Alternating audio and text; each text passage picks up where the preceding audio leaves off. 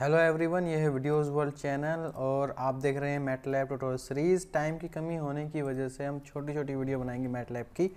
तो सबसे पहले हम स्टार्ट करते हैं। फ़र्स्ट वीडियो बना चुका हूँ। आप उसकी प्लेलिस्ट में देख सकते हैं। मैट लैब की एक प्लेलिस्ट मैंने बना दी। उसमें आप देख सकते हैं कि मैट लैब को इंस्टॉल करके क्रैक कैसे करना है टू मैट लैब को और बेसिक ट्यूटोरियल उसमें फ़र्स्ट टूटोरियल में है। ये डे टू ट्यूटोरियल है। तो चलिए स्टार्ट करते हैं। आज टिग्नोमेट्री के कुछ फ़ंक्शन स्टार्ट करते हैं। जैसे कॉस साइन टेन इन सब की वैल्यू अगर हमें कॉस एग्ज़ाम्पल हमें चाहिए वैल्यू कॉस टेन की वैल्यू तो हमें कॉस टाइप करेंगे ब्रैकेट में टेन करके देखते हैं. Cos bracket ten enter solve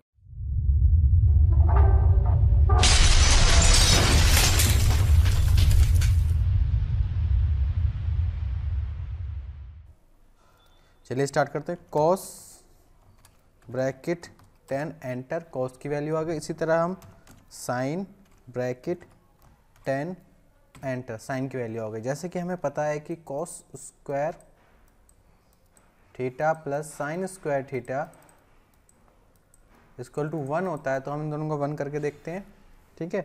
तो सबसे पहले हमें एक वेरिएबल बनाना चाहिए, जैसे u equal to cos ten sorry u equal to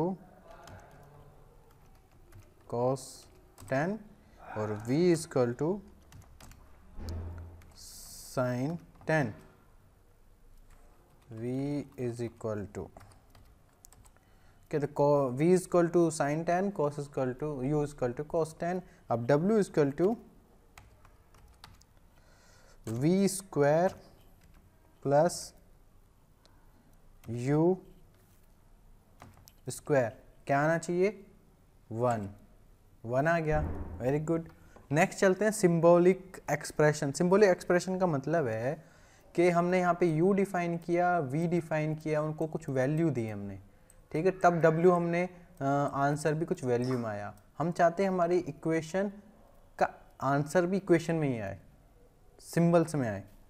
ठीक है? जैसे कि हमने कोई इक्वेशन एक्स वाई की इक्वेशन को हम सोल्व करेंगे और हमने एक्स वाई की वैल्यू नहीं है गिवन तो हमें एक्स वाई की फॉर्म में ही इक्वेशन का सोल्यूशन आएगा। इसी को बोलते हैं सिम्बॉलिक और इसके लिए आपको टाइप करना होता है एस वाई एम एस ठीक है ट्राई करते हैं। पहले इसको क्लियर कर लेते हैं। C L C clear C L C clear C L E R clear ठीक है? तो सबसे पहले मैंने लिखा S Y M S space x space y क्योंकि जो मैं इक्वेशन लिखने वाला हूँ, उसका सॉल्यूशन एक्स और वाई में आएगा, ठीक है? ये मैंने लिख दिया एक्स और वाई को सिंबॉलिक बना दिया। अब मैं एक चीज़ लिखता हूँ। एक्स माइनस वाई ठीक है? Into bracket x minus y की पावर टू कितना आना चाहिए? जब हम एक्स माइनस वाई की पावर टू को मल्टीप्लाई कर रहे हैं एक्स माइनस वाई से तो एक्स माइनस वाई की पावर थ्री आना चाहिए। देखते हैं।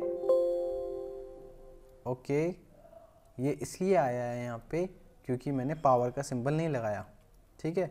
तो मैं यहाँ पे क्या करता हूँ? यहाँ पे इस टू को हटा के पहले पावर फिर टू अब एंटर मारूँगा। देखिए, x minus y into x minus y की पावर टू क्या आ गया? x माइनस वाई की पावर थ्री इसको हम एक्सपेंड भी कर सकते हैं। देखिए E X P N D expand type करेंगे और ब्रैकेट में लिखेंगे A N S bracket close enter देखिए एक्सपेंड हो गई।